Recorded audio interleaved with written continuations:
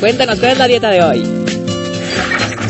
Sí, Carlita, fíjate que la verdad ha habido muchos resultados, muy buenas noticias. De verdad estoy muy contenta con la gente que está siguiendo esta dieta, que está cambiando sus hábitos alimenticios, que está cambiando esas costumbres que nos traen a todos, pues, pues no sé, más sobre, de sobrepeso, pasaditos, que nos aprieta el pantalón. Entonces vamos a quitarnos esos kilitos de encima.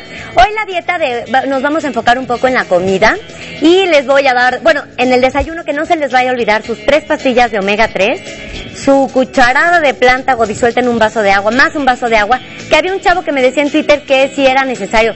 Pues no, no, no es que sea necesario, es que simplemente nos va a ayudar a limpiar un poco el, trayecto eh, de la digestión, de todo el intestino, y esto ayuda un poco a desintoxicarnos, a sacar las cosas que se puedan fermentar a nivel del intestino, pueden estarnos provocando un poco de distensión, o ya saben, digestiones un poco más, más lentas y más pesadas.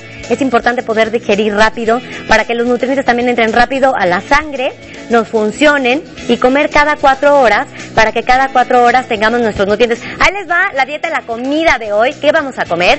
Vamos a comernos una sopita de frijol. ¿A quién le gusta la sopita de frijol? Mmm, es deliciosa con un poquitito de crema, ¿no? Que por favor se baje en grasa y le pueden ahí poner de aliño también un poquito de queso, un poco de chile chipotle, está muy rico. Y aguacate, y aguacate, ¿no? Y de ensalada nos vamos a echar una fría de nopal, ya saben, muy mexicana, muy tradicional. El nopal es muy bueno para la salud, muy con chicharrón. Dale con el chicharrón, dale, dale. Va, sí, es para Mike. El chicharrón solo es para Mike, ¿eh? Ustedes no ven a comer chicharrón. ¿Es el cumpleaños de Mike? Mike, ¡Feliz cumpleaños! Estas son las mañanitas. Que, que bueno, que no cante, por favor, la señorita. Y también vamos a comernos un pescadito empapelado. Yo quiero eh, retomar un poquito esto de la nutrición que nos manda el gobierno. Primero nos diseñaron la pirámide alimenticia, que buena onda, ¿le entienden? ¿Le entienden la pirámide alimenticia? Yo la verdad se me hace un poco complicado no se entiende muy bien las porciones, te ponen al día lo que tienes que estar comiendo. Ahora la pirámide eh, ya está como pasando a segundo término, acaban de sacar el plato, el plato del buen comer, que tampoco me fascina, pero bueno, ya es un acercamiento más a las raciones diarias y por comida de lo que tenemos que estarnos alimentando. El plato está dividido en cuatro. Eh, eh, sobre frutas y verduras, proteína y granos, ¿no? Yo quisiera reiterar en que el plato tiene que ir realmente dividido en tres porciones. Vamos a tomar. ¿Dónde hay un plato? Aquí hay un plato. Vamos a tomar un plato. Así de bonito y así de chulo.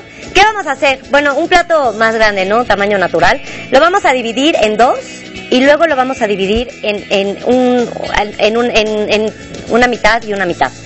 Toda, este, toda esta parte le debe de, de, de pertenecer a las frutas y a las verduras. ¿Esto qué quiere decir? Que aquí va a ir nuestro nopalito, ¿no? El día de hoy aquí va el nopal. Que esté lleno, que esté abundante. Primero cómanse esto para que queden más satisfechos y luego ya pasan a la parte de la proteína y de los granos. ¿A qué me refiero con granos? Si se puede, por ejemplo, un arroz integral, si se puede, una pasta integral, si se puede. Y si no, pues váyanse a cositas más sanas, más semillitas, este, de girasol o nuecesitas o cosas que puedan tener un uso mucho más interesante en el organismo. Y de la proteína que sea poquita, realmente no tiene que ser más grande de la palma de su mano, ancho y grosor, y con eso tienen por comida, es decir, en la mañana vamos a suponer un plato en la mañana, ¿qué va a pasar? Va a ser la mitad de fruta, ¿no?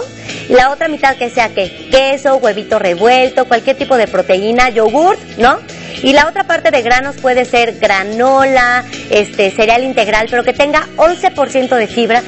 La, mayoría tienen 6%. Yo les invito a que se fijen cuánto porcentaje de fibra tiene, que sea 11% de fibra y un jugo, ¿no? Esto va a ser un desayuno. ¿Qué pasa en la cena? En la cena vamos a volver a dividir nuestro plato y vamos a querer una ensalada grande de espinacas, con mucho rojo, con mucho amarillo, con mucho verde y vamos a ponerle un pedacito de proteína que puede ser a lo mejor tantito quesito de cabra, puede ser a lo mejor eh, media pechuguita de pollo asada, ¿no? Así a la parrillita.